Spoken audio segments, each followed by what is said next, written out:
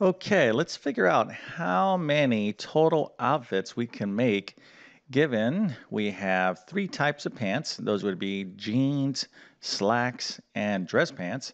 And then we have two types of shirts, which let's say we have a long sleeve shirt and a short sleeve shirt. And we have two different type of shoes, uh, dress and sneakers. So I know most of you uh, out there in your closet, you have much more than this. But uh, let's say someone who was just really simplistic, minimalistic in their lifestyle, maybe this is all they have. They're like, boy, I only have three types of pants, two shirts, and two shoes.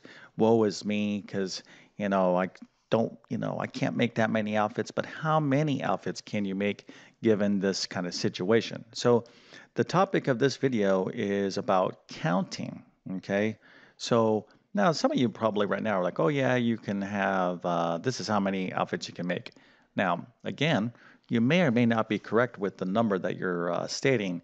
Uh, I want you to be certain. How can you really know for certain that the number of outfits that you just said, or maybe you're guessing, is correct? Okay, how can you verify that? So, we're going to be talking about um, counting and I'm going to be talking about something called counting trees and something called the fundamental principle of counting. So, yes, counting goes more, uh, it's more than just saying, hey, that's one, two, three, four, etc. Counting, hey, there's one car, two cars, three cars, four cars. Of course, that's counting, but with a little bit more sophisticated type of problems, then we need to kind of get into more uh, you know, sophisticated ways of counting. All right, this is very, very important in mathematics, and I think you'll find it uh, fairly interesting. So we're going to get to this in just one second, but first let me quickly introduce myself. My name is John. I'm the founder of TabletClass Math. I'm also a middle and high school math teacher, and over many years I've constructed what I'd like to believe is one of the best online video-based math programs there is. Of course, I'll let you be the judge of that. If you're interested, you can find a link to uh, my Math Help program in the description of this video. But um, I have uh, many, many full online uh, math courses. So if you got to take a full online math course, let's say college algebra, algebra 2, geometry, whatever, I can help you. Okay, of course, I have a lot of other specialty courses um, in my Math Help program. But uh, if you're taking a course right now, but you need assistance, um, you know, let's say you're trying to find a tutor or you're struggling, then my math program can really, really help you out. So I have full lessons and I teach you how to solve the most common type of problems you're going to encounter in middle and high school math. I literally solve thousands of problems, all video based. Um, again, if you're interested, you can follow the link in the description of this video. Now, if you are a math student, I must stress to you the importance of note taking. This is the number one thing that you need to be focused on um, outside of uh, the obvious other things. Okay, but if you want to really have a good indication of how well you're going to do in math, take a look at your take a look at your notes. Over decades of teaching math, one thing is apparent to me: those students with the best math notes almost always have the best math grades, and the reverse is true. Those students who have no math notes, sloppy math notes, disorganized math notes, um, and of course, I always like to say, oh, uh, my dog ate my homework and my math notes. I don't have my math notes. I lost my math notes. I gave them to my best friend. Whatever the case is, if you want to do well in math, you got to strive in taking the best possible notes you can. Okay, so take a look at your notes, reflect on that, and uh, there's always room for improvement. Now, in the meantime, you need something to study from. So I actually offer detailed comprehensive math notes. Those would include pre-algebra, algebra 1, geometry, algebra 2, and trigonometry, can find a link to uh, those in the description of this video. Okay, now let's get into uh, this problem. We're talking about counting, okay? So let's say I have uh, um, some homes here, my little houses. So again, uh, this is pretty simple, right? If I wanted to say, how many homes do I have? Now, everyone could see that we have four homes, but we're counting, right? This principle, one, and now here I have two homes, and here I have three homes, and altogether here I have four homes. So counting is just kind of this natural kind of thing that we learn to do, right? When we're, you know, uh, just born, we're kind of like, you know, just start immediately, start identifying there's one person, two person. This is the most natural, basic parts of, um, you know, number sense, okay? It's just counting. But counting could be much more um, complicated especially in when we're trying to figure out you know a problem like that we're going we're going to be doing here in a second right when there's multiple things going on then it becomes much more interesting. So counting, I think sometimes students they'll say, "Oh yeah, we're going to learn about counting. I already know how to count. One, two, three, four. No, that's that's that's basic counting. Counting is much more sophisticated, we need to know how to count.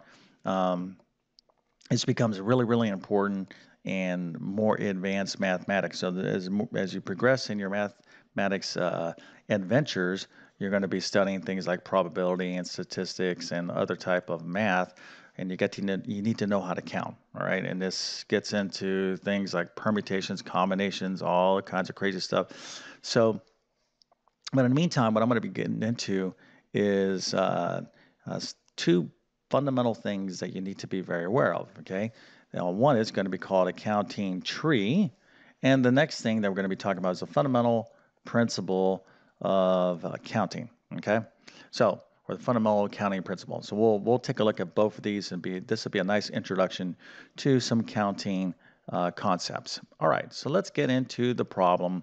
So we got some pants, shirts, and shoes. Of course, this person really needs to upgrade their life uh, because really, you know, they don't really have too much in their closet. Of course, I'm being a little bit funny about this. You can do a lot with, uh, you know, this wardrobe. So let's take a look and figure out using a counting tree exactly how many outfits this person can uh, put together. So we got pants, shirts, and shoes, right? So let's figure this out. Okay, remember we had three types of pants. You can see the answer here is going to be 12. So if you said 12 total outfits, you're right, but let's verify that. Okay, let's just make sure. So we have jeans, slacks, and then we had dress pants, right? So let's just say, okay, um, how many outfits can I make with my jeans? Well, if I have my jeans, um, I have the option of a long sleeve shirt or uh, short sleeve shirt. So right here, this is what we are doing. These little, these are little branches. This is called a tree okay, a counting tree because I can visually see my options. So I start with my jeans. I'm like, oh, I can go to a, a, long sleeve or a short sleeve. So let's say I went with my long sleeve. I got my jeans. I went my I went my, with my long sleeve. What about my shoes? Well, I got my choice of dress, shoes, or sneakers. So I can I could have this combination: my jeans. I could have my jeans, my long sleeve shirt, and my dress shoes. So that's one outfit right there. That's one unique outfit, okay? Or I could have my jeans, my long sleeve shirt, okay, and my sneakers. That's another outfit, okay? So these are kind of like my final outfits that I can put together. So you can start seeing that, oh, all right, I can kind of count every possible kind of combination I can do here. So uh, let's do the same thing with my short sleeve uh, shirt. So I got jeans, short sleeve, dress. So boom, that's another one. And this is another outfit that I can do. I can have jeans, short sleeve shirt, and my sneakers. So we're detecting a pattern. Okay. So now we're like, okay, I have one, two, three, four different outfits I can uh, create with my jeans. And then obviously, if I take a look at my slacks and I do the same thing, and uh, my dress pants, I do the same thing. I have four here. Okay four here and four there. And you are correct in your basic counting. 4 plus 4 plus 4 is 12. Okay, so we have 12 total outfits that we can put together. And again, we verify this or use what we call a counting tree. So counting trees are very useful and you're going to see them um, in your mathematics journey. Okay, when you're studying counting, probability, uh, these type of problems, this is a pretty a pretty common um, principle that you know uh, that shows up on tests, standardized tests, and things like that. So this is a counting tree, and it's a very good technique. However, what's the matter with the counting tree? All right. Well, here I have three pants, I have two shirts, and two shoes. What happens if I had, let's say, seven pants, and I had 10 shirts and I have, let's say, uh, nine pair of shoes. Okay, what happens? Well, this becomes very like our tree gets like crazy, right? We're going to be many, many branches.